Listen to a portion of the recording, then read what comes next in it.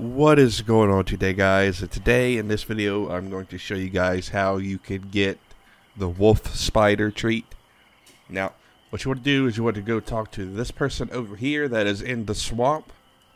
And when you talk to them they will give you a mission to kill an albino spider. So you want to go to the albino spider and you want to defeat it. Now I recommend you be pretty far into the game and have some decent stuff in order to take on the spider because he does do a lot of poison damage if he does hit you. After you defeat the spider, what you want to do is you want to go back and talk to the person that gave you the mission, and they will give you the wolf spider treat.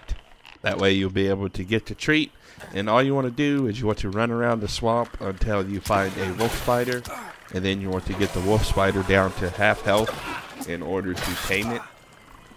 And after you tame the spider, this, this spider actually has an attack, so you will be actually able to defend yourself while on the spider.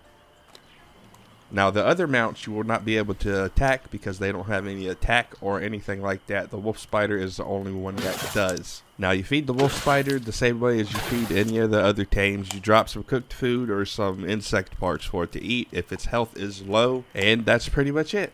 Now, if you guys have any questions or anything like that, please make sure to leave a comment. And if you guys found this video helpful in any way, please make sure to hit this like button. And remember to subscribe for some more videos that I will be doing. And without further ado, I will talk to you guys later.